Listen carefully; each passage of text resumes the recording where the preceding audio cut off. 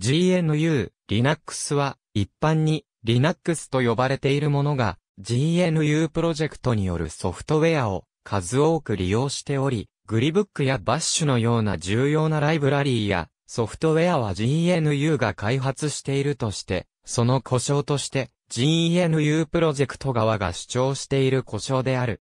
一般に Linux を使用する場合、カーネルとして Linux カーネルを使用し、それ以外は GCC、GNU by Neutrals、GNU Core Utilities などをはじめとする必須にして、多数の GNU のプロダクトを使用しているものがほとんどである。そのためこのようなシステムを GNU、Linux システムと呼ぶべきだと GNU プロジェクトは主張している。Linux カーネル開発者のリーナ・ストーバルズは、この故障について部分的に受け入れているが、すべての Linux システムに対しての故障としては反対しており、個人的には Linux と呼び続けるとしている。デビアンは、その成立経緯などからディストリビューションの正式名をデビアン GNU、Linux とするなど、GNU プロジェクトを尊重する立場をとっている。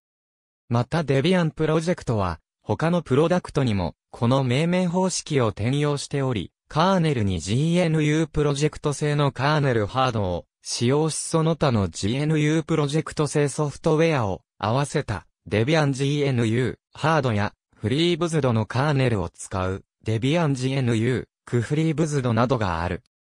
なお、逆に GNU プロジェクトのプロダクトを一切使わない Linux システムというものについて、具体例として GNU プロジェクトが FAQ で Android を上げているという例を出す者がいるが、しかし FAQ をちゃんと読むと、そもそも Android は一般に Linux システムと呼ばれているものとは全く違うものなので、Android を Linux システムと呼ぶこと自体が間違いだと述べている。